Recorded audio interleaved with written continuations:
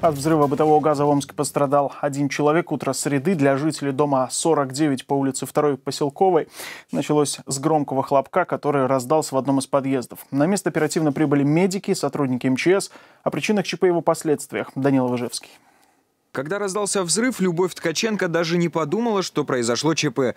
Предположила, что муж уронил что-то в соседней комнате. Только когда запахло газом и засуетились соседи, стало ясно – происходит что-то серьезное. Причем совсем рядом. Я в комнате была, дед на кухне. Говорю, дед, ты что делаешь? Там бабахнуло. Я говорю, ты что делаешь? Как будто он упал, что ли, так сильно.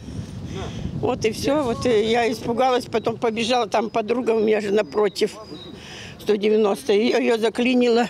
Ну, я сразу 0,4 набираю, я вызвала горгаз сразу. Квартиру, в которой произошел взрыв, давно отключили от голубого топлива за неуплату. Но вместо того, чтобы заплатить по счетам, жильцы предпочли купить газовый баллон. Дешевле, но и, как оказалось, опаснее. 63-летний мужчина собирался приготовить завтрак, не почувствовал запах, включил плиту и попытался зажечь конфорку. В результате у хозяина квартиры ожоги в 20% тела, а также поражение дыхательных путей. Он сейчас в тяжелом состоянии и находится в реанимации. Мы попытались поговорить с его родственниками, но они оказались не расположены к диалогу. Здравствуйте.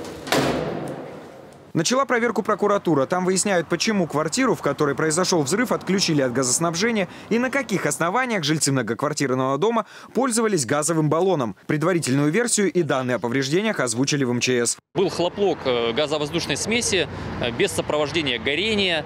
Э, в результате хлопка были повреждены межкомнатные двери и входная дверь. Входная дверь заблокировала сосед... ну, дверь соседнюю, и ну, жильцы не смогли выйти. Пожарными были приняты меры для деблокировки, чтобы жители могли спокойно выходить. Ну, как бы серьезных разрушений нет. Сейчас на месте работает следственная оперативная группа. Специалисты установят причины происшествия. Виновному грозит уголовное дело. Данила Выжевский, Александр Ибуха. Новости здесь, Омск.